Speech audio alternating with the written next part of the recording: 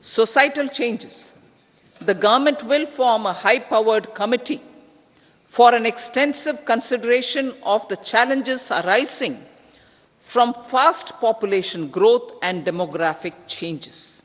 The committee will be mandated to make recommendations for addressing these challenges comprehensively in relation to the goal of Viksit Bharat. Amrit Kal as Kartavya Kal. Our government stands committed to strengthening and expanding the economy with high growth and to create conditions for people to realize their aspirations. Honorable Prime Minister, in his Independence Day address to the nation in the 75th year of our Republic, said, and I quote, We commit ourselves to national development with new inspirations, new consciousness, new resolutions as the country opens up immense possibilities and opportunities. It is our Kartavya. Unquote. Every challenge of the pre 2014 era was overcome through our economic management and our governance. These have placed the country on a resolute path of sustained high growth. This has been possible through right policies, true intentions, and appropriate decisions. In the full budget in July, Honorable Speaker, our government will present a detailed roadmap for our pursuit of Viksit Bharat.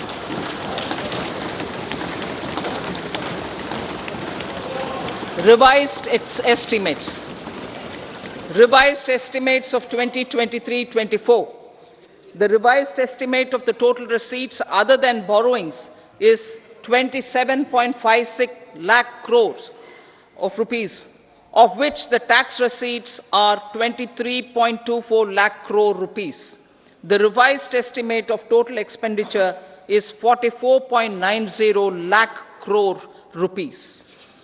The revenue receipts at 30.3 30.03 lakh crore rupees are expected to be higher than the budget estimate, reflecting strong growth momentum and formalization in the economy.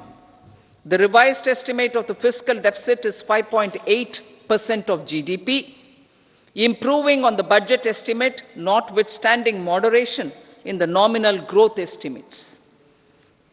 Budget estimates for 2024 25.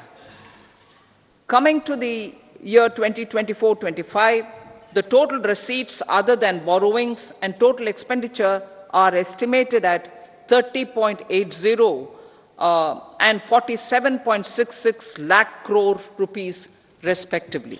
The tax receipts are estimated at 26.02 lakh crore rupees.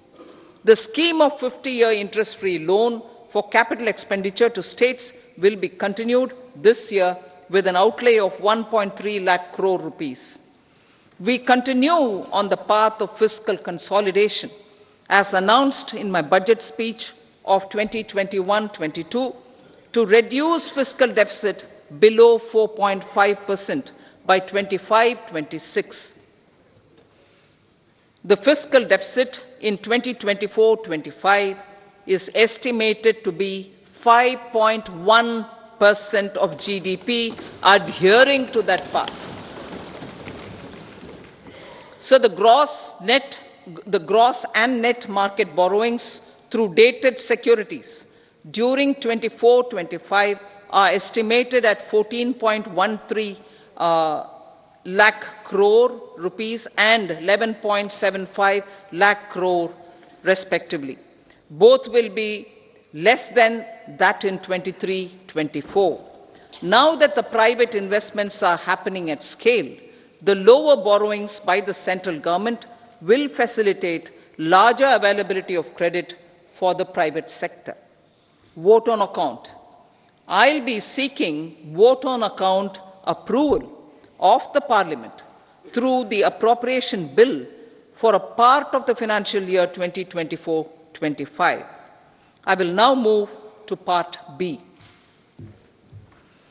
Honorable Speaker, sir, over the last 10 years, the direct tax collections have more than trebled and the return filers swelled 2.4 times.